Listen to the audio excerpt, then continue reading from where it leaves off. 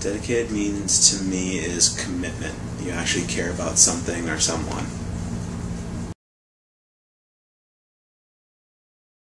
Uh, being dedicated means that you have a commitment to the agency, your clients, and your team. I think if you're lacking any of those, it shows uh, in your work and in your attitude.